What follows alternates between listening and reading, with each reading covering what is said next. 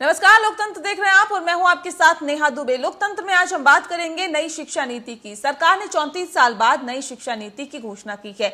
नई शिक्षा नीति में स्कूल में बच्चों के भविष्य में स्कूल बैग का बोझ भी कम होगा। इससे स्किल बढ़ेगा और रोज़गार के अवसर भी मिलेंगे। विकल्प के रूप में स्थानीय भाषा भी रहेगी। इसके ज़रिए भारतीय भाषाओं को प्रोत्साहित किया जाएगा। करीब दो लाख सुझाव के बाद नई शिक्षा नीति तैयार की गई है। अब स्कूल के पहले पाँच साल में प्री प्राइमरी स्कूल के तीन साल और क्लास एक से दो सहित फाउंडेशन स्टेज में शामिल। होंगे। इसके अलावा शिक्षा प्रणाली को लेकर कई तरह के परिवर्तन भी किए गए हैं। सभी इंस्टीट्यूट के लिए एक एंट्रेंस एग्ज़ाम होगा। क्षेत्रीय भाषाओं के लिए भी ऑनलाइन कोर्सेज होंगे। 2030 तक हर ज़िले में या उसके आसपास कम से कम एक बड़ा मल्टी सब्जेक्ट हाई इंस्टीट्यूशन होगा। सरकार चाहती है कि सौ फ़ीसदी लोग शिक्षित हो, लेकिन सवाल है कि सिर्फ़ शिक्षा नीति बदलने से शिक्षा में सुधार हो जाएगा।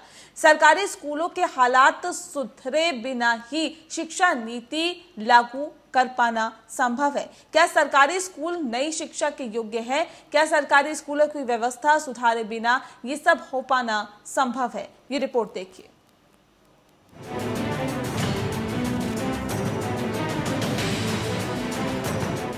देश शिक्षा नीति भारत के भविष्य को संवारने के लिए बनाया गया है ताकि भविष्य का भारत अपने हिसाब से अपना भविष्य संवार सके। नए भारत में नई पहचान बना सके। चौतीस साल बाद शिक्षा नीति में नए बदलाव किए गए हैं, ताकि शिक्षा में सुधार और बच्चे अपने हिसाब से पढ़ सके। बुधवार को इस नई शिक्षा नीति को कैबिनेट ने मंजूरी दे दी। नई शिक्षा नीति में स्कूल के बस्ते प्री प्राइमरी क्लासेस से लेकर बोर्ड परीक्षाओं, रिपोर्ट कार्ड, यूजी एडमिशन के तरीके एम तक बहुत कुछ बदला है। नई नीति की सबसे बड़ी विशेषता ये है कि स्कूली शिक्षा, उच्च शिक्षा के साथ कृषि शिक्षा, कानूनी शिक्षा, चिकित्सा शिक्षा और तकनीकी शिक्षा जैसे व्यवसायिक शिक्षाओं को इसके दायरे में लाया गया है। इसका मुख्य उद्देश्य है कि छात्रों को पढ़ाई के साथ साथ किसी लाइफ स्किल से सीधा जोड़ना। और इक्कीसवें सदी के एक नई शिक्षा नीति को उसमें मंजूरी दी गई। यह बेहद महत्वपूर्ण है, क्योंकि 34 साल से शिक्षा नीति में परिवर्तन नहीं हुआ था। मुझे विश्वास है कि पूरा समाज और सभी देशवासी इसका स्वागत करेंगे। अभी तक आर्ट, म्यूज़िक, क्राफ्ट, स्पोर्ट्स, योग आदि को सहायक पाठ्यक्रम या अतिरिक्त पाठ्यक्रम के तौर पर पढ़ते आए हैं। अब ये मुख्य पाठ्यक्रम का हिस्सा होंगे। इन्हें एक्स्ट्रा करिकुलर एक्टिविटी नहीं कहा जाएगा। अभी तक शादी होने या किसी के बीमार होने पर किसी की पढ़ाई बीच में छूट जाती थी। अब ये व्यवस्था है कि अगर किसी कारण से पढ़ाई बीच सेमेस्टर में छूट जाती है तो इसे मल्टीपल एंट्री और एग्जिट सिस्टम के तहत आपको लाभ मिलेगा। मतलब अगर आपने एक साल की पढ़ाई की है तो सर्टिफिकेट दो साल की है तो डिप्लोमा तीन साल या चार साल के बाद डिग्री दी जाएगी। यूपी हमारा बहुत शिक्षा के प्रति जागरूक प्रदेश है। और चूँकि संख्या हमारी बहुत ज़्यादा है और आवश्यकताएँ हमारे पास साधन संसाधन जितने होने चाहिए तो उसमें उतने नहीं हैं। तो इसमें हम बेहतर नीति को अपना के एक नीतिगत जो निर्णय है, उससे उत्तर प्रदेश को सबसे ज़्यादा लाभ होगा। सरकार ने तय किया है कि अब सकल घरेलू उत्पाद यानी जीडीपी का कुल छह फ़ीसदी शिक्षा पर खर्च होगा। फ़िलहाल भारत की जीडीपी का चार दशमलव चार तीन प्रतिशत हिस्सा शिक्षा पर खर्च होता है। आयोग ने शिक्षकों के प्रशिक्षण पर खास ज़ोर दिया है। ज़ाहिर है कि एक अच्छा टीचर ही एक बेहतर स्टूडेंट तैयार करता है। इसलिए व्यापक सुधार के लिए शिक्षक प्रशिक्षण और सभी शिक्षा कार्यक्रमों को विश्वविद्यालयों और कॉलेजों के स्तर पर शामिल करने की सिफारिश की गई है। सरकार अब न्यू नेशनल करिकुलम फ्रेमवर्क तैयार करेगी। इसमें ई e स्कूल, टीचर और एडल्ट एजुकेशन को जोड़ा जाएगा। बोर्ड एग्ज़ाम को भाग में बांटा जाएगा। अब दो बोर्ड परीक्षाओं को तनाव को कम करने के लिए बोर्ड तीन बार भी परीक्षा करा सकता है। इसके अलावा अब बच्चों के रिपोर्ट कार्ड में लाइफ स्किल्स को जोड़ा जाएगा। जैसे कि आपने अगर स्कूल में कुछ रोज़गार परक सीखा है तो इसे आपके रिपोर्ट कार्ड में जगह मिलेगी, जिससे बच्चों में लाइफ स्किल्स का भी विकास हो सकेगा। अभी तक रिपोर्ट कार्ड में ऐसा कोई प्रावधान नहीं था। In order to provide the comprehensive umbrella for the role of this ministry, which will promote not only human resource generation, new human resource creation, but also promote research, promote education of all types, whether it is mainstream, whether it is vocational, whether it is professional, and also work with the international bodies for, for major cooperative programs and things of that kind. नई शिक्षा नीति लाने का मकसद है।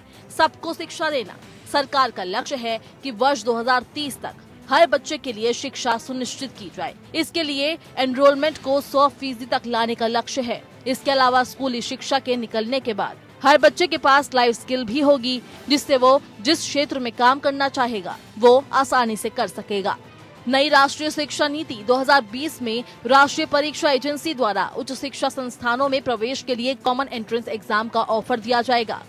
देश भर के विश्वविद्यालयों में प्रवेश के लिए प्रवेश परीक्षा आयोजित करने के लिए एडिशनल चार्ज दिया जाएगा, जिसमें वो हायर एजुकेशन के लिए आम यानी कॉमन एंट्रेंस परीक्षा का आयोजन कर सकता है।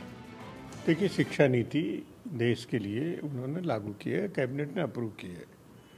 विस्तार से इसके ऊपर चर्चा अवश्य की जाएगी। पार्लियामेंट में भी इस पर डिस्कशन होगा। और केवल नाम बदलने से नहीं, एक वास्तव में एक मौलिक सुधार होना चाहिए। रिसर्च में जाने वालों के लिए नई शिक्षा नीति में नई व्यवस्था की गई है। उनके लिए चार साल में डिग्री प्रोग्राम का विकल्प दिया जाएगा। यानी तीन साल डिग्री के साथ एक साल एमए करके एमफिल की ज़रूरत नहीं होगी। उसके बाद सीधे पीएचडी में जा सकते हैं। इसका मतलब ये हुआ कि सरकार ने नई शिक्षा नीति में अब एमफिल को पूरी तरह खत्म करने की बात कही है। मल्टीपल डिसिप्लिनरी एजुकेशन में अब आप किसी एक स्ट्रीम के अलावा दूसरा सब्जेक्ट भी ले सकते हैं। यानी अगर आप इंजीनियरिंग कर रहे हैं और आपको म्यूज़िक का भी शौक है तो आप उस विषय को भी साथ में पढ़ सकते हैं। अब स्ट्रीम के अनुसार सब्जेक्ट लेने पर ज़ोर नहीं होगा। पहले जैसे स्ट्रीम के अनुसार सब्जेक्ट का चुनाव करना होता था, अब उसमें भी बदलाव आएगा। कुल मिलाकर नई शिक्षा नीति से शिक्षा में सुधार होगा, लेकिन सवाल है कि बिना हालात सुधारे, नीति बनाने से शिक्षा नीति में सुधार होगा। सरकारी स्कूलों की सेहत में सुधार किए बिना नई शिक्षा नीति कामयाब होगी। ब्यूरो रिपोर्ट एपीएन जी हाँ तो सरकार ने चौंतीस साल बाद नई शिक्षा नीति की घोषणा की है और नई शिक्षा नीति से भविष्य में स्कूल बैग का बोझ कम होगा और क्या कुछ इसके बेनिफिट्स हो सकते हैं, क्या कुछ इसके फ़ायदे हो सकते हैं, आज इस पर तफसील से चर्चा करेंगे। हमारे साथ खास मेहमान मौजूद है, उनसे आपका तारुफ करा देते हैं। अशोक कुमार सिन्हा जी हमारे साथ है, नेता है आरएसएस के, बहुत स्वागत है सर आपका।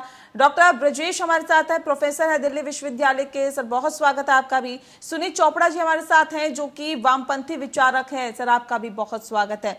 सबसे पहला सवाल मेरा, डॉक्टर ब्रजेश आपसे है, क्योंकि आप बेहतर तरीके से समझ रहे होंगे कि आखिर ये जो नई शिक्षा नीति है इससे कितना फ़ायदा कितना नुकसान होगा और इसे किस तरह से देखा जाए सबसे पहले तो ये जो न्यू एजुकेशन पॉलिसी है वो देर से आई है हम्म। ये तो आफ्टर थ्री डिकेड्स आई है हम्म। और इसके एब्सेंस में जो एजुकेशन पॉलिसी और जो एजुकेशन इंफ्रास्ट्रक्चर है हम्म। वो सफ़र करता रहा है तो इसके प्लस माइनस हैं कुछ जो टीचिंग कम्युनिटीज़ हैं हम्म। वो थोड़े उनके रिजर्वेशंस भी हैं इसको लेकर के। But hmm. एक दो चीज़ें हैं जिसके बारे में टीचिंग कम्युनिटी को भी कोई रिजर्वेशन नहीं है और वो वेलकम है। और हमारी डूटा भी उसका वेलकम करती है। वो है कि इसमें शिक्षा को एक्सपैंड किया गया है। जैसे पहले हम बात करते थे universal education from age six to fourteen now it is from age three to eighteen so that's a big expansion of course उसके लिए जो इंफ्रास्ट्रक्चर है उसको उसी हिसाब से बढ़ाना पड़ेगा। और इसमें कहा गया है कि वो धीरे धीरे करेंगे ये और उसकी व्यवस्था की गई है। द सेकेंड थिंग एक ट्रांसपेरेंसी आएगी इसमें। Hmm. और uh, एक uh, जो टीचिंग टीचर्स हैं और जो school administration college university administration है वो अकाउंटेबल होएगा।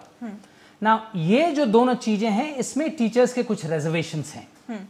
अब ज़ाहिर है टीचिंग कम्युनिटी इतने साल से थ्री डिकेड से या उससे पहले से भी हम्म। बहुत ज़्यादा ट्रांसपेरेंसी टीचिंग में नहीं है अभी अभी कुछ यूनिवर्सिटीज़ में स्टूडेंट फीडबैक शुरू हुआ है स्टूडेंट कहेंगे कि उनको कैसा लगा टीचर्स का पढ़ाना पर वो अभी शुरू हुआ है कुछ कुछ जगह शुरू हुआ है उसको लेकर के भी टीचिंग कम्युनिटी में रिजर्वेशन हैं हम्म, हम्म। कि स्टूडेंट्स किस तरह से हमें आंकेंगे एट्सेट्रा हम्म। और जो अकाउंटेबिलिटी का पोर्शन है उसमें भी टीचर्स को काफ़ी रिजर्वेशन हैं। किस तरह की अकाउंटेबिलिटी कौन कौन हमें अकाउंटेबल करेगा? और उसके मेथड क्या होंगे मेथडोलॉजी क्या होगा? इन चीज़ों को लेकर थोड़ी सी बहस है। बट जो जिस एक्सपेंशन का इतना ज़्यादा ज़रूरी था ज़रूरी था मैं हायर एजुकेशन के बारे में विशेष तौर पे कहूँगा। अभी जो एनरोलमेंट है वो सिर्फ़ वन फोर्थ है। ना किसी भी वर्थवाइल सोसाइटी में वो कम से कम 50 परसेंट होना चाहिए। पोस्ट स्कूल एजुकेशन में कम से कम आधे लोग तो जाएँ। अभी एक चौथाई है। अभी हमने एक एम्बिशियस प्लान किया है कि अगले दस साल में उसको 50 परसेंट तक हम ले जाएँगे और अगले दो तीन साल शिक्षा नीति को अच्छा मान रहे हैं? हाँ। बहुत बहुत अच्छा है बहुत देर से आया है बहुत देर से आया ठीक है सुनील चोपड़ा जी किस तरह से इसे देखते हैं? जो नई शिक्षा नीति लागू की गई है इसे किस तरह से देखते हैं आप? ये नई शिक्षा नीति नहीं है क्योंकि पहली चीज़ है कि एक जनतांत्रिक देश में कोई पार्लियामेंट्री कमेटी में डिस्कशन नहीं हुई है पार्लियामेंट मिली नहीं चंद लोगों को बैठा के ये तय कर दी गई और इसका कई इसके मुद्दे हैं जो बहुत ही मुश्किल हैं। एक है कि बचपन में या तो मातृभाषा हो या होम लैंग्वेज, ये होम लैंग्वेज क्या चीज़ है? या रीजनल लैंग्वेज हो, उसमें शिक्षा होगी। इसका मतलब है कि आपकी कोई स्टैंडर्ड नहीं होगा कंफ्यूजन होगा। दूसरी चीज़ है कि ये एक यूनिटरी सिस्टम है one window because education is going to become something that is both private and commercialise और इसमें बड़ा खतरनाक है क्योंकि ये जो आम आदमी है जो कि यूनिवर्सिटी तक नहीं जा सकता वो पाँच छठी कक्षा से वोकेशनलाइज हो जाएगा। तो यहाँ पर कुछ होंगे जो तरखान होंगे जो राज मजदूर होंगे और कुछ होंगे जो पढ़े लिखे होंगे। ये ईस्ट इंडिया कंपनी ने 1813 में पास किया हुआ था। तो ये ईस्ट इंडिया कंपनी के 1813 के मामले को फिर से जगा रहे हैं। और इसीलिए ये पार्लियामेंट तक लाना नहीं चाह रहे हैं। तो मेरा ये कहना है कि ये सब गलत काम है और उसके अलावा एक बहुत सीरियस चीज़ है। आज हमारी university grants commission it is independent of the budget here there is no independent finance for education तो सारी एजुकेशन बिक्री का माल हो जाएगा। जो खरीद सकता है खरीद लेगा और जो नहीं खरीद सकता वो अनपढ़ रहेगा वो पत्थर तोड़ेगा वो घर बनाएगा और वो असल में किसी ना किसी तरह सेकंड क्लास सिटीजन हो जाएगा। और इसमें कोई अकाउंटेबिलिटी नहीं है। ये कह रहे हैं, पच्चीस फ़ीसदी लोग हायर एजुकेशन में आ जाए तक ले जाए उसका रास्ता है? उस रास्ते की डिस्कशन नहीं है। तो मेरा ये कहना है ये पिछले दरवाजे से विदेशी कंपनियों को बुला के और हर तरह के बचकाने शिक्षा पैदा करना चाहते हैं और इसमें एस भी होगा। इसमें हर तरह की चीज़ होगी। अमीरों को खरीदने पे शिक्षा मिल जाएगी गरीबों को अशिक्षित रखा जाएगा। ठीक है। एक सवाल यहाँ पर अशोक जी से ले लेते हैं। अशोक जी आपने सुना अभी सुनीत चोपड़ा जी को। उनका कहना है कि अमीरों को तो शिक्षा मिल जाएगी लेकिन गरीब इससे वंचित रहेगा। और पिछले दरवाजे से कहीं ना कहीं विदेशी कंपनियों को फ़ायदा पहुँचाने की कोशिश। कितना इत्तेफाक रखते हैं आप इनकी बातों से? अब चोपड़ा जी उन्नीस सौ पचास से लेकर के और चौदह तक शिक्षा को नियंत्रित करते रहे हैं। और शिक्षा पर वामपंथ का कब्जा था तो इसलिए अब ये कब्जा हटाया गया है तो दुख होना स्वाभाविक है। एक चीज़ मैं आपसे कह दूँ संघ में कोई नेता नहीं होता। मैं संघ का समसेवक हूँ मात्र और संघ के जानकार आप कह सकती हैं मुझे नेता शब्द प्रयोग न करिए नेता कोई नहीं होता। तो पहली बात तो ये थी चोपड़ा साहब का विरोध था कि उसको ठीक से चर्चा नहीं की गई तो मैं बता दूँ कि पंचायत से लेकर सांसदों तक और लगभग चार लाख लोगों के सुझाव प्राप्त किए गए और सबसे राय बात करके और उनके तक पहुँच करके उनसे राय ली गई है। पंचायत से जरा चोपड़ा साहब सुन ले बात को। मैं आपके बीच में नहीं बोल रहा था मैं तो सिर्फ़ आपके बातों का उत्तर दे रहा हूँ आप सुन लीजिए। जब कहे हैं तो सुन लीजिए। अरे जब आप कहे हैं तो सुन लीजिए ना। और मंत्रिमंडल का जो निर्णय है अरे भाई जरा सुनिए भाई सुनने की क्षमता बस यही वामपंथियों के हाथ में बड़ी दिक्कत होती है कि ये सुनते ही नहीं हैं? कह जाते हैं हैं बस। सर सुन लेते हैं अरे मैं जी को। मैं आपने जो कहा मैं उसका उत्तर दे रहा हूँ कि पंचायत से हाँ, लेकर सांसदों तक चर्चा हुई है। चार लाख लोगों ने सुझाव दिया है। सभी राज्यों से चर्चा हुई है तब मंत्रिमंडल से पास हुआ है। है और मंत्रिमंडल के बाद इसको जब सेशन चलेगा तो वो रखा भी जाएगा क्योंकि बिना संसद के पास किए कोई चीज़ लागू नहीं होती है। अकाउंटेबिलिटी नहीं है। अरे भाई सुनो यार पहले चोपड़ा साहब बस खाली आप बोलते चले जाते हो। पहले सुनो क्यों नहीं हैं। सुन अकाउंटेबिलिटी लेते है सुन लेते ठीक है सर प्रधानमंत्री ने पाँच पाँच स्तंभ इस नई शिक्षा नीति का बताया है। पाँच स्तंभ। पहला है एक्सेस सब तक पहुँच। सर मैं आपको पूरा वक्त दूँगी कि आप अपनी बातों को रख पाए। अभी अशोक जी को सुन लेते हैं उसके बाद मैं आपको पूरा वक्त दूँगी कि आप अपनी बातों को रखिए। ठीक है अशोक जी। बिल्कुल। इस नई शिक्षा नीति के पाँच स्तंभ प्रमुख हैं। पहला है एक्सेस यानी कि सब तक पहुँचना। दूसरा है इक्विटी यानी भागीदारी। तीसरा है क्वालिटी यानी गुणवत्ता। चौथा है अफोर्डेबिलिटी यानी सबको। किफायती दर पर शिक्षा मिले और पांचवा ही स्तंभ है अकाउंटेबिलिटी जिसकी ये बात कर रहे हैं अकाउंटेबिलिटी होगी नहीं। जवाबदेही तय की जाएगी कि आपके क्लास में कितने बच्चे हैं, कैसे पास हुए। तो ये मैंने कहा कि सभी से चर्चा की गई है। अकाउंटेबिलिटी की पूरी की पूरी उसमें बात रखी गई है। संसद में भी यह चीज़ बहस में आएगी। ऐसा नहीं होता कि मंत्रिमंडल पास कर देता है तो संसद में नहीं रखा जाता, यह भी उनका पूरा होगा। हाँ एक बात है कि एक भारत श्रेष्ठ भारत की कल्पना को लेकर के इसी भावना से आप यह और अधिकतम फ़ीस भी तय कर दी गई कोई शोषण नहीं हो सकता गरीबों का। गरीबों और दो करोड़ बच्चों को पुनः जोड़ा जाएगा। पुनः जोड़ा जाएगा। यह सारी बातें अकाउंटेबिलिटी रिस्पॉन्सिबिलिटी इक्वलिटी एक्सेस ये सारा स्तंभ है शिक्षा नीति का। हाँ दुख उनको ज़रूर हो रहा है, वो आलोचना ज़रूर कर सकते हैं, जो कि हमको गहन अंधकार में केवल रोमिला था पर और इफान हबीब का इतिहास पढ़ा करके, इस देश को कोई संस्कृति का देश न बता करके, जो इन लोगों ने शिक्षा को दीमक की तरह चाट लिया है, उस सिकंजे से मुक्त किया गया है। और उच्च शिक्षा हो चाहे प्राइमरी शिक्षा हो गुणवत्ता युक्त शिक्षा सबके लिए सुलभ शिक्षा देने का आप तो प्रयास किया गया। सबसे बड़े इतिहासकारों के नाम ले रहे हैं जिनको आप कह रहे हैं जानते कुछ नहीं है। आपके गधों ने जो हिस्ट्री लिखी हुई है वो पढ़ाओगे? देखिए ऐसा है चोपड़ा साहब मुझे आपसे पढ़ना नहीं है। और शिक्षा के क्षेत्र में जनता की राय लेकर के अब आपसे राय नहीं ली जाएगी। आप लोगों ने बहुत देश चला लिया। साठ वर्षों तक आपने कांग्रेस को भी दीमक की तरह चाट लिया और और देश को भी दीमक की तरह चाटा। तो यह समाप्त हो गया अब बात। अब आपको गंभीरता से सुनना पड़ेगा कि शिक्षा नीति बदली जो गई है वह इस दृष्टि से बदली गई है कि आम व्यक्ति वह ज्ञानार्जन कर सके न कि एक रोबोट बन जाए। ठीक है। रोबोट नहीं हम बनाने वाली शिक्षा देना है। चाहते। गलत इतिहास पढ़ाना बनाने का काम कर रहे हैं ट्रेनिंग चोपड़ा साहब सवाल ये है कि अभी आपने कहा कि किसी से राय मशवरा नहीं की गई। अभी अशोक जी कह रहे हैं कि लोगों से भी तो हमने पूछा लोगों से हमने जाना। सुन लीजिए सर सुन लीजिए सवाल मेरा सुन लीजिए। एक प्रांतीय सब्जेक्ट भी है तो प्रांतीय असेंबली से कहा पूछा गया? जी। अरे भाई आप ये चोपड़ा साहब आप ये बताइए कि राज्य सभी राज्य अपना पाठ्यक्रम तैयार करेंगे। राज्य स्कूल स्टैंडर्ड अथॉरिटी का गठन किया गया है। ये दोनों बातें सिद्ध करती हैं कि यह राज्य सूची में भी रहेगा केंद्रीय सूची में भी रहेगा और दोनों तो दोनों विषय पर इस पर चर्चा होगी।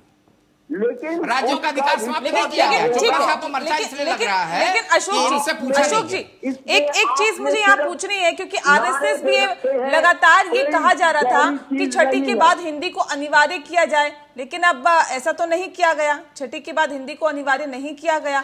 इस बात यानी कि आरएसएस की बातों को नहीं माना गया। कैसे देखते हैं इसे? नहीं आरएसएस ने अपने जो अखिल भारतीय प्रतिनिधि सभा थी उसमें जो जो सुझाव दिया था उसी को माना गया है। सुझाव यह दिया गया था कि पाँच वर्ष तक के बच्चों को उनकी मातृभाषा में शिक्षा देनी चाहिए। उसी से उसका आईक्यू डेवलप होता है। तो अंग्रेज़ी की अनिवार्यता समाप्त की गई है। हिंदी तो अपने आप स्वतः प्रतिष्ठित है। वह अपने उपयोगिता के कारण से प्रतिष्ठित है। और वह राजभाषा के रूप में प्रस्थापित है संविधान में प्रस्थापित है। मातृभाषा या होम लैंग्वेज या रीजनल लैंग्वेज मातृभाषा नहीं है। अरे भाई उड़ीसा में मान लीजिए कि कोई व्यक्ति उड़िया नहीं जानता। तो उसको होम रीजनल लैंग्वेज में दिया जाएगा होम लैंग्वेज में दिया जाएगा। परंतु सीधे कहा गया है कि मातृभाषा में जो जिस बालक की मातृभाषा तो होगी उसमें मान लिया बात लेकिन सवाल ये भी अशोक जी कि विदेशी यूनिवर्सिटी कैंपस खोलने पर ऐतराज जताया था। तो अब यहाँ पर विदेशी यूनिवर्सिटीज आकर कैंपस खोल सकती है उस पर सरकार को कोई एतराज़ नहीं है। इसे किस तरह से देखते हैं आप? देख देखिए, साढ़े छह लाख बच्चे विदेशों में पढ़ने जाते हैं। साढ़े छह लाख से सात लाख तक बच्चे विदेशों में जाते हैं, बड़ी हायर फ़ीस देते हैं। तो विदेशी विश्वविद्यालयों को यहाँ कैंपस खोलने की अनुमति इसलिए दी गई है कि वह यहाँ के यहाँ जब अपना कैंपस खोलेंगे तो विदेश नहीं जाएँगे हमारे बच्चे डॉलर बचेगा। आरएसएस ने इसलिए आपत्ति जताई थी ना सर? यानी कि ये ये कहा जाए कि आरएसएस ने कॉम्प्रोमाइज कर दिया है कि ठीक है जो सरकार ने फैसला लिया है वो ठीक है। या फिर आप यूँ कह रहे हैं कि ये फैसला सही लिया गया क्या आप कहना चाहते हैं? आरएसएस ने कहा था कि ऐसा नहीं होना चाहिए कि विदेशी यूनिवर्सिटीज निर्बाध निर्बाध गति से शिक्षा मिले, किसी भी जगह पर वो बच्चा पढ़ सके, विदेश में न जाकर के यहीं पर विदेशी स्टैंडर्ड की शिक्षा प्राप्त कर सके, इसलिए उनको आमंत्रित किया गया है, मगर उनकी फ़ीस निर्धारित कर दी गई है कि वह एक मैक्सिमम फ़ीस इतना ही ले सकते हैं। हमारी जेएनयू की शिक्षा विदेशी स्टैंडर्ड की है, ये कोई नई चीज़ नहीं आप बता रहे।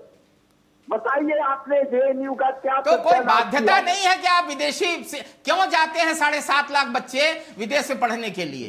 अगर वो यहाँ रोक लिए जाएँगे यहाँ के ही उस वही शिक्षा यहाँ प्राप्त करेंगे तो हमारे डॉलर बचेंगे ना? ठीक है। डॉक्टर बचा रहे हैं और बच्चों को अनपढ़ बना रहे हैं। हम्म, ठीक है। क्या कुछ खास अनपढ़ तो आप बना करके रख दिया आपने अकबर से लेकर के बाबर तक पढ़ा करके। एक दो चीज़ों को हम अनपढ़ बनाया है। आपने भगत सिंह को उग्रवादी बता करके आतंकवादी बता करके आपने अनपढ़ अशोक जी चोपड़ा जी हमारे पास दिल्ली विश्वविद्यालय के प्रोफेसर भी है सर पूछ लेते हैं इनसे भी पूछ लेते हैं जान लेते हैं कि क्या कुछ खास है किस तरह से अध्यापक और जो प्रोफेसर है वो देख रहे हैं शिक्षा नीति को इसकी कितनी ज़रूरत भारत में थी ये भी हम जान लेते हैं। जी।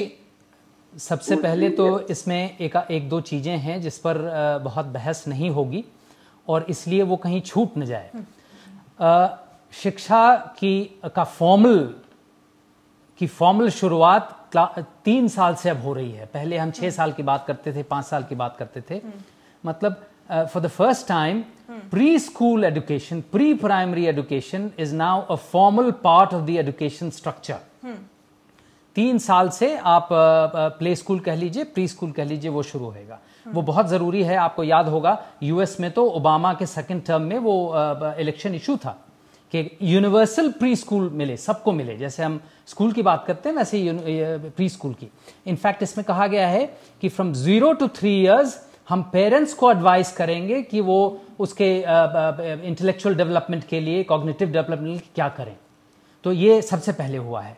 उसके बाद में जो एक फ्लेक्सिबिलिटी आई है क्लास ट्वेल्व के नीचे तक मतलब क्लास फाइव से लेकर क्लास ट्वेल्व के बीच में जो एक तरह से डिसिप्लिन सब सिलोज बन गए थे साइंस मैथ्स का साथ साइंस बायोलॉजी का साथ साइंस इकोनॉमिक्स तो उसमें एक फ्लेक्सिबिलिटी आया है। तो जो जो जो आप चूज़ करेंगे अपने सब्जेक्ट्स उसमें आपके पास ज़्यादा चॉइस हैं। क्योंकि स्टूडेंट्स तो स्टेक होल्डर है बहुत बड़ा स्टेक होल्डर है पूरे एजुकेशन सिस्टम का हम्म। तो ये उसमें एक चॉइस आया later on later on when you go to college college में जब आप जाते हैं हम्म। तो वहाँ भी एक तरह की ट्रांसपेरेंसी आई है जिससे स्टूडेंट्स फ़ायदा उठा करके जैसे किसी ने दो साल किया है उसके बाद उसका ब्रेक हो गया तो अभी तो वो सिस्टम से बाहर हो जाता था।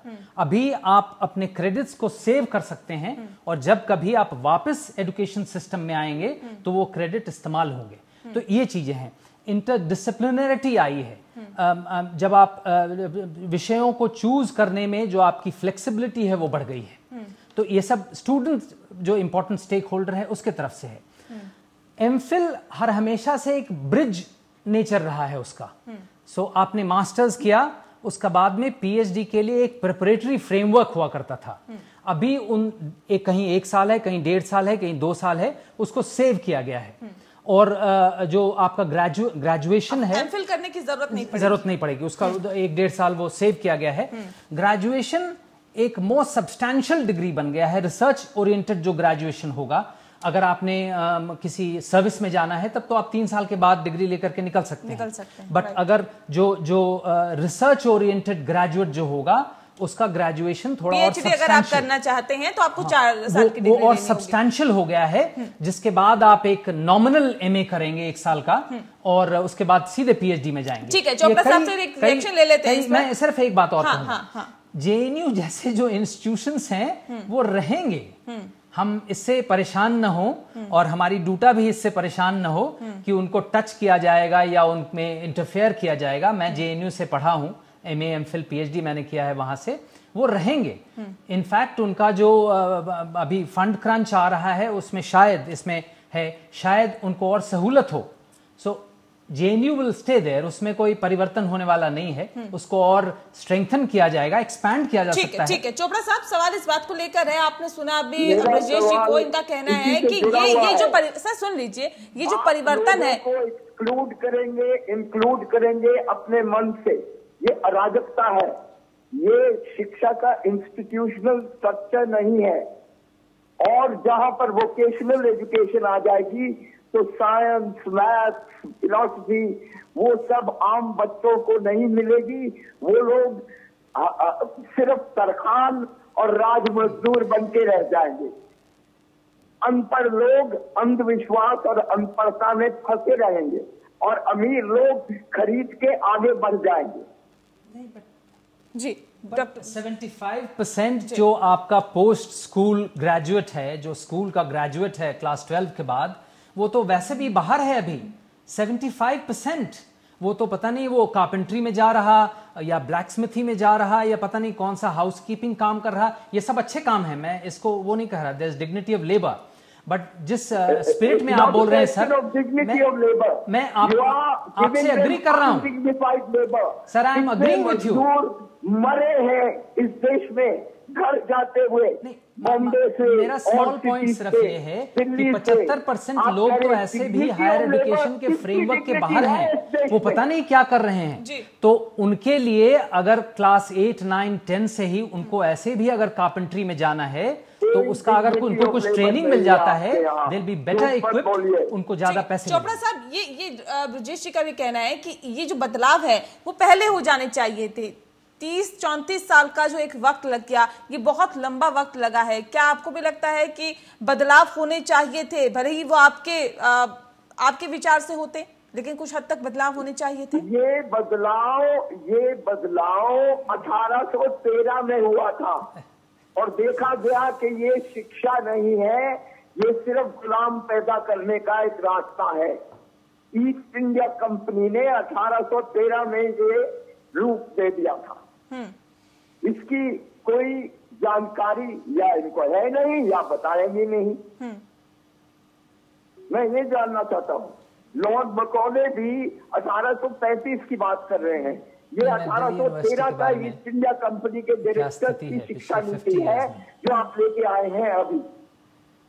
नहीं वो तो वो तो वो तो बहुत ज़रूरी बात हो सकती है पर बहुत पुरानी बात है। दिल्ली यूनिवर्सिटी को आप लें सिक्सटीज, सेवेंटीज में एक फ्लड ऑफ़ इंस्टीट्यूशंस आया था जब सारे कॉलेजेस बने, नए कॉलेजेस जो बने, ढेर सारे कॉलेज बने सिक्सटीज में। उसका बाद में सिक्सटी से अभी 2020 में हम हैं, इट्स सिक्सटी ईयर्स क्या एक्सपेंशन हुआ है दिल्ली यूनिवर्सिटी का? दिल्ली यूनिवर्सिटी केटर नहीं कर पा रही है, कितने लाख स्टूडेंट्स जो क्लास 12 दिल्ली से कर रहे उनको या तो टेक्निकल चीज़ों में जाना पड़ता है या पढ़ाई को छोड़ ही देना पड़ता है दूसरे स्टेटों में जाना पड़ता है वहाँ भी बहुत रश है। तो वो तो एकदम सिस्टम के बाहर हैं। अगर सबसे पहले सबसे इस अभी ये सब होप है। ये तो एक पॉलिसी आया है अभी ये कैसे इंप्लीमेंट होगा? पॉलिसी तो आ गई है सर। सवाल इस बात को लेकर है कि नई पॉलिसी आने से क्या होगा? क्या- क्या ये जो ये जो जो स्ट्रक्चर है जो बुनियादी ढांचा है क्या उसमें बदलाव की ज़रूरत नहीं है? क्या ये पॉलिसी आने से क्या इसको इम्प्लीमेंट ठीक से किया जाएगा? और तो- इम्प्लीमेंट तो अलग किया जाएगा? तो कैसे किया जाएगा? इस पे भी आज हम तफसील से चर्चा करेंगे। दरअसल नई शिक्षा नीति जो लागू की गई कि आज हम उसी की बात कर रहे हैं, सवाल इस बात को लेकर है कि उसे कैसे लागू किया जाएगा? कहाँ कहाँ पे खामी कहाँ कहाँ पर कमियाँ हो सकती है, उन कमियों को कैसे दूर किया जाएगा? क्या सरकार के पास उसके लिए भी कोई रोड मैप है क्या? खास मेहमान लगातार हमारे साथ जुड़े हुए हैं। सवाल इस बात को लेकर है अशोक कुमार सिन्हा जी की इस शिक्षा नीति को कैसे लागू किया जाएगा, सर? क्योंकि अभी अगर हम हालात देखें तो आ, कई राज्यों में कई राज्यों में ऐसे भी स्कूल हैं जहाँ पर बुनियादी सुविधाएँ लोग बच्चों को नहीं मिल पा रही है। स्कूल की जो भवन है, वो जर्जर कंडीशन में ही है। वो किसी भी वक्त हादसे को न्योता दे सकते हैं। इस हालात में बच्चे वहाँ पर पढ़कर अपने भविष्य को आगे बढ़ाने या फिर अपना विकास और अपने देश का विकास करने के जो सपने हैं, वो बुनते हैं। लेकिन ऐसे में सवाल इस बात को लेकर है कि आप नई शिक्षा नीति तो ले आते हैं, लेकिन बुनियादी सुविधाएँ उनको कब, कैसे मुहैया होगी? सर, इस बारे में कौन सोचेगा, सर?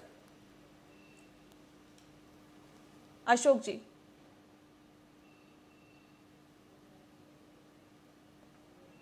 अशोक जी आवाज़ मिल पा रही है आपको? चले डॉक्टर ब्रजेश यही सवाल मेरा आपसे है। ये जो आप कह रही थी काफ़ी डुएबल है। मैं आपको उदाहरण देता हूँ। और ये भी शिक्षा नीति में जो अनाउंसमेंट हुआ था कल कल ही हुआ था शायद उसमें मंत्री जी ने कहा भी। जैसे हमारे यहाँ एक इंस्टीट्यूशन है आंगनबाड़ी। वो टेक केयर कर रहा है pre school pre primary school children का। वो तो छः महीने से शुरू कर देता है but three year old four year old के लिए भी आंगनबाड़ी में जगह है। अब ये शिक्षा इस शिक्षा नीति के बाद जो गवर्नमेंट का एटीट्यूड है वो ये है कि जो डिपार्टमेंट्स अभी तक ministry of health family welfare child development में था उसको भी हम स्ट्रीमलाइन करके इसमें लाएँगे। तो वो जो इंफ्रास्ट्रक्चर पहले से पड़ा हुआ है आंगनबाड़ी का या और भी चीज़ें और भी तरह से जो क्रैश या इस तरह का उसको इस्तेमाल करके इसलिए पूरा एकदम नए सिरे से शायद न बनाना पड़े। सो इट्स वेरी ड्यूएबल बाकी चीज़ें जो हैं सिक्सटीन फोर्टीन तक तो हम यूनिवर्सल स्कूलिंग में दिया ही हुआ था। अभी हम उसको एटीन तक एक्सपैंड कर रहे हैं। तो अ, ये कंपेरेटिव एक्सपेंशन की ज़रूरत है। एकदम पूरे स्ट्रक्चर को बिल्ड करने की ज़रूरत नहीं है। हर लेवल पे। अभी हायर एजुकेशन में आए तो आपको पता होगा दिल्ली में हमने एफआईयूपी किया था। वो अ, कई इश्यूज़ के कारण कुछ उसमें इंफ्रास्ट्रक्चरल इशू भी थे जो डूटा की मांग भी रही है और बहुत ज़रूरी मांग है ये। कि आप सिर्फ़ चीज़ों को बदलने से नहीं होगा इंफ्रास्ट्रक्चर तो दें। अकाउंटेबिलिटी किस चीज़ का? जब इतने ज़्यादा लेक्चरार हैं कि स्टाफ रूम में जगह नहीं है तो पहले स्टाफ रूम को तो थोड़ा एक्सपैंड कीजिए ठीक अशोक जी भी जुड़ गए एक बार फिर तो- से हमारे साथ उनसे संपर्क टूट गया था। अशोक जी सवाल इस बात को लेकर है क्वालिटी की बात आप करते हैं इक्वालिटी की बात करते हैं अफोर्डेबल की बात करते हैं अकाउंट अकाउंटेबिलिटी की बात करते हैं, तमाम बातें आपने की, लेकिन सवाल इस बात को लेकर है कि क्वालिटी की जहाँ बात होती है, सर ऐसे बहुत से राज्य हैं, बहुत से स्कूल हैं, बहुत सी जगह हैं जहाँ पर बच्चों को बुनियादी सुविधाएँ नहीं मिल पा रही है। ऐसे भवनों में, ऐसी इमारतों में बच्चे स्कूल में पढ़ने के लिए परेशान है या फिर उन्हें जाना पड़ता है, मजबूर है, जहाँ पर वो हादसे को किसी भी वक्त इमारत न्योता दे सकती है। ऐसे कंडीशन में आप एक नई शिक्षा नीति की बात करते हैं, कैसे लागू होगा सर ये? देखिए निर्णय लेना, नीति बनाना, ये व्यवस्थापिका का कार्य है। कार्यपालिका उसको कार्यान्वित करती है। तो कार्यपालिका को यह उत्तरदायित्व तो दिया जाएगा कि पहली बात तो कि ये बड़ी सोचनीय स्थिति है कि इतने बड़े बड़े शिक्षाविद हुए, राष्ट्रपति तक शिक्षाविद पहुँचे, ये स्थिति क्यों रही? और अब जितनी अच्छी स्थिति सुधारी जा सक चुकी है और आगे सुधारने की गुंजाइश है, निश्चित रूप से सरकार इसकी व्यवस्था करेगी। जब नीति बनाई है तो उसके अनुसार कार्यपालिका को निर्देश भी होंगे और धन भी होगा, बजट भी उपलब्ध होंगे। और मैं बता दूँ आपसे, राष्ट्रीय स्वयंसेवक संघ स्वयं एक लाख से ऊपर एकल विद्यालय चलाता है, जहाँ पर कोई स्कूल नहीं है। वहाँ एक टीचर और एक ही क्लास में सारी शिक्षा दी जाती है तो एकल विद्यालय एक लाख से ऊपर चल रहे हैं इस देश में। हम शिक्षा के क्षेत्र में विद्या भारती जैसा बहुत बड़ा संगठन बना के रखे हुए हैं। तो शिक्षा यह सबको मिले, इसकी ज़िम्मेदारी शासन के साथ साथ समाज की भी होती है कि वह सहयोग करे। तो निश्चित रूप से समाज और सरकार और व्यवस्थापिका, कार्यपालिका के सहयोग से यह व्यवस्था बनेगी। ये ये चोपड़ा साहब, ये हालात हम तब देखते हैं जब देश को आज़ाद हुए तकरीबन साठ से पैंसठ साल का वक्त हो गया था। ऐसी स्थिति में आज भी जब बारिश आती है तो बारिश के बाद जो स्कूल है, वो तालाब में तब्दील हो जाता है। वहाँ पे बच्चों के जो बैग है, वो तैरने लग जाते हैं। स्कूल में जाने के वक्त उन्हें दो दो इंच तीन तीन इंच पानी से होकर गुजरना पड़ता है। सर ये कंडीशन अगर स्कूल की इस वक्त बनी हुई है आज़ाद भारत में जब आज़ाद हुए इतना वक्त हो गया तब क्या नहीं लगता कि नई शिक्षा नीति एक उम्मीद जगाती है? बिल्कुल नहीं। नई शिक्षा नीति लोगों को झुंड में डालना चाहती है। हम्म। आप ये समझ लो अब चंद दिनों में पाँच तारीख को अयोध्या में एक शिलान्यास होगा। हम्म। तो पता एक बार फिर होगा। इस सरकार का काम ही ये है।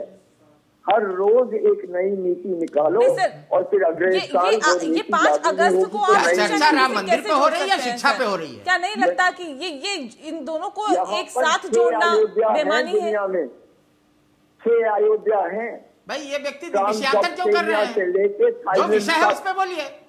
और आपकी अयोध्या, असली अयोध्या है। अठारह सौ अठावन के केस में साफ़ कहा गया है कि आपको कुछ मालूम नहीं है कि राम कहाँ पैदा हुए। नहीं नहीं चोपड़ा साहब। और उसके जज एक पंडित चोपड़ा साहब अब आप शिक्षा नीति को आप अयोध्या से मत दोनों मामले देखिए है? तो सवाल इस बात को लेकर है कि जो शिक्षा नीति लागू है उम्मीद की नज़र से नहीं देख सकते कि शिक्षा नीति आएगी कुछ हद तक बदलाव होगा। अभी तक तो सर हम हालात जस के तस देख रहे हैं सर। दो बार। वो लोग क्या विश्वास लाएँगे लोगों में? क्या विश्वास हो सकता है? ये कैसे होगा हम्म। तो मेरा ये कहना है ये शिक्षा नीति आपने शुरू किया है कुछ ठीक है कर लेकिन इसकी सही बहस और एजुकेशन कमीशन में होगी और आपको सोचना पड़ेगा हम्म। कि यूजीसी जैसा संगठन आपको बनाना पड़ेगा शिक्षा में पैसा डालने के लिए तब जी पैसे, पैसे की बात आई है तो यहाँ मैं एक बार फिर से अपने दर्शकों को बता दूँ क्योंकि अब सकल घरेलू उत्पाद यानी कि जीडीपी का कुल छह फ़ीसदी अब शिक्षा पर खर्च होगा। इससे पहले भारत की जीडीपी का चार दशमलव चार तीन फ़ीसदी हिस्सा शिक्षा पर खर्च होता था। लेकिन एक एक सवाल अशोक जी आपसे है क्योंकि चार दशमलव चार तीन फ़ीसदी भी अगर हम कुल जीडीपी का देखें तो ये सर कम नहीं होता। लेकिन पारदर्शिता की आज बात की जा रही है नई शिक्षा नीति के साथ ही कि ट्रांसपेरेंसी होगी। क्या माना जाए कि अब क्योंकि बजट भी बढ़ा दिया गया है तो क्या हालात में सुधार होगा क्या? देखिए इस वर्ष जो शिक्षा का बजट है वो निन्यानवे हज़ार तीन सौ करोड़ रुपए खर्च हो रहे हैं जो गत वर्ष के सापेक्ष इस समय चार हज़ार पाँच सौ करोड़ अधिक रुपए खर्च किए गए अशोक जी ये आंकड़े देखिए आंकड़ों में दिखता है सर। लेकिन लोगों के पास क्या पहुँचता है? बच्चों के पास क्या पहुँचता है? हम तो उसकी बात कर रहे हैं सर। आज जो तस्वीरें निकल के अलग अलग राज्यों के गाँव की निकल के सामने आ रही है। वो हैरान और परेशान करती है कि इस जगह पर अगर हमारे नौनिहाल पढ़ रहे हैं तो देश का भविष्य क्या होगा? इसकी चिंता सताती है सर। हमारे जितनी बुरी स्थिति आप बता रही हो उतनी बुरी स्थिति नहीं है।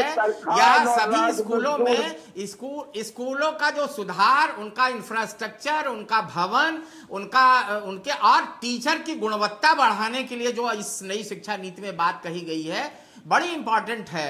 कि टीचर गुणवत्ता युक्त हो और विद्यालय हर जगह उपलब्ध हो जब राइट टू एजुकेशन हो गया तो उसके आधार पर हर एक किलोमीटर के अंदर कहीं ना कहीं कोई विद्यालय होना चाहिए। तो विद्यालय हैं। हाँ। अब सरकार सरकारी विद्यालय में बच्चे कम जाते हैं। जब हम उसके भाई ये चोपड़ा साहब को तो पहले धीमा करिए इनकी आवाज़। चोपड़ा साहब को कहीं बहुत बहुत कमज़ोर स्थान पे दर्द हो रहा है। तो वो थोड़ा सा तिलमिलाए हुए हैं। मगर मैं साफ़ साफ़ कह रहा हूँ कि यह देश के विकास के लिए यह शिक्षा नीति लागू की गई है। और देश की आवश्यकता को देखते हुए यह शिक्षा नीति लागू की गई है। केवल रोबोट न बनकर के ज्ञानवान युवक तैयार हो और वह अपने अनुसार वह विषय बदल सके इसलिए डिजिटल स्तर पर एकेडमिक बैंक ऑफ़ क्रेडिट बनाया गया है। बीच पढ़ते पढ़ते वो अपने विषय का बदलाव कर सकते सकता है। हायर एजुकेशन कमीशन बनाया गया है। राज्यों से कहा गया है कि वो सभी अपना पाठ्यक्रम तैयार करें। राज्य स्कूल स्टैंडर्ड अथॉरिटी का गठन इसीलिए किया गया है कि हर जगह विद्यालय हो। ठीक है। इसलिए यह जरा सोचिए कि यह राज्य स्कूल स्टैंडर्ड अथॉरिटी क्या निर्धारित करेगी? वह विद्यालय का इंफ्रास्ट्रक्चर और टीचर की गुणवत्ता यह दोनों निर्धारित करेगी। ठीक है। तो इसलिए समग्र विकास सोच करके किया गया है। ठीक है, सुनीत सुनीत चोपड़ा जी कुछ कहना चाह रहे हैं। आप अपनी बात रखिए सर अब। चोपड़ा साहब, अपनी बात रखिए अब, क्या कह रहे हैं आप?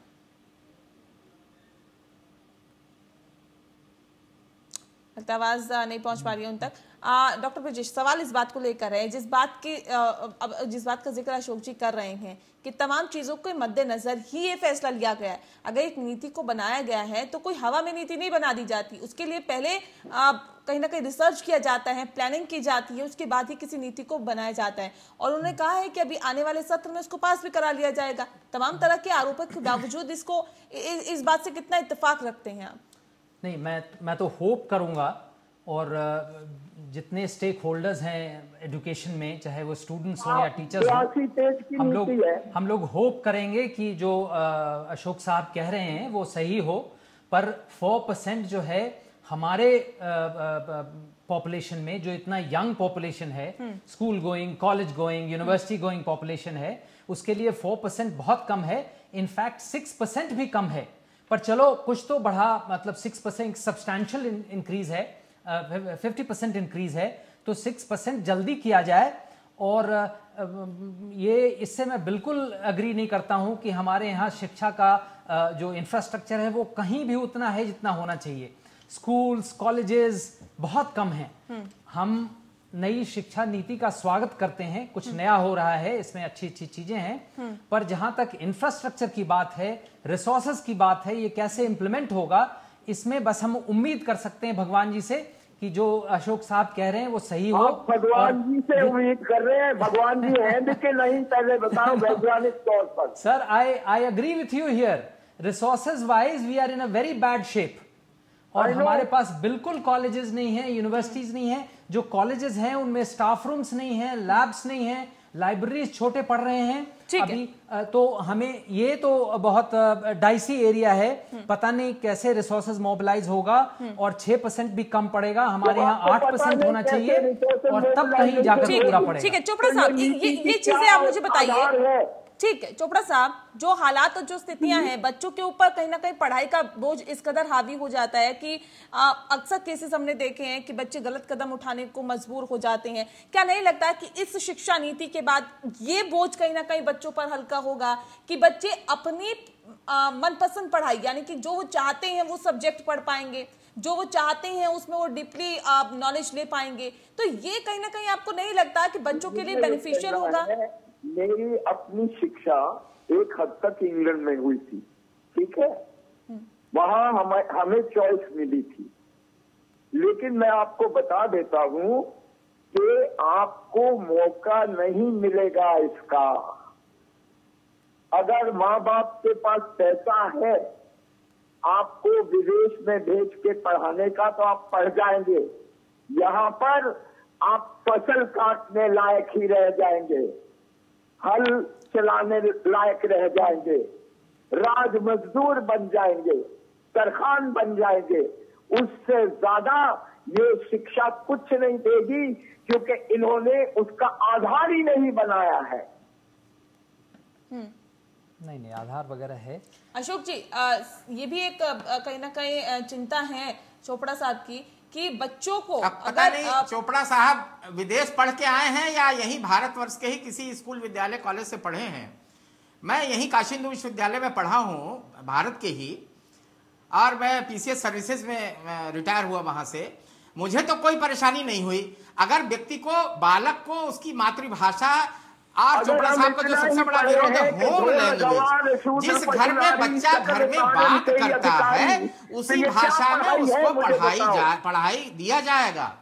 यह जो कहा गया है तो कोई मजदूर अब चोपड़ा साहब तो मजदूर नहीं बने। चोपड़ा साहब तो बड़े नेता बन गए और एयर कंडीशन में रहते हैं बड़े आराम से रहते हैं। तो निश्चित रूप से यहाँ हमारे विश्वविद्यालयों की गुणवत्ता और बड़े बड़े वैज्ञानिक यहीं के विश्वविद्यालय से पढ़ के निकले हैं। कहीं बाहर से ऐसा कोई आकर के कोई चमत्कार कर दिया हो अब भारत वर्ष भारतवर्ष की जो हायर एजुकेशन है वह शिक्षा इसलिए गुणवत्तापूर्ण है कि उसके लिए व्यापक रूप से तैयारी की गई। एक साल में साढ़े चार हज़ार करोड़ रुपए शिक्षा बजट में बढ़ा देना यह एक अपने आप में उपलब्धि कही जाएगी भाई।